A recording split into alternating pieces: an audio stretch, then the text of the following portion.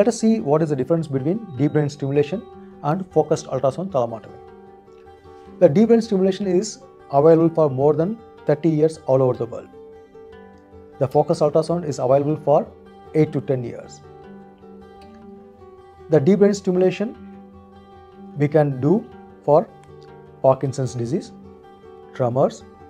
The focused ultrasound can be done for mainly like essential tremors and Parkinson's disease tremors. The deep brain stimulation can be done for both the sides because in Parkinson's disease the symptoms will be there for both the sides.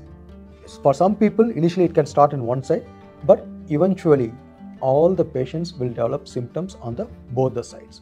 So the DBS will be helpful to control the symptoms for both the sides. In contrast, the focused ultrasound can be done for only one side of the body and to some extent it can improve the other symptoms.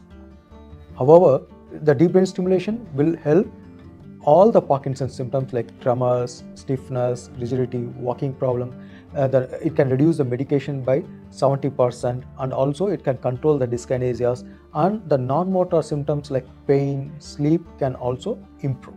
The deep brain stimulation, we can increase the stimulation and control the symptoms. The focused ultrasound, it's a single lesion. If the disease progresses, we cannot change the lesion. So in future, if the disease progresses, we cannot adjust the stimulation to control the symptoms. Overall, for Parkinson's disease and tremors, the deep brain stimulation is the best treatment option available.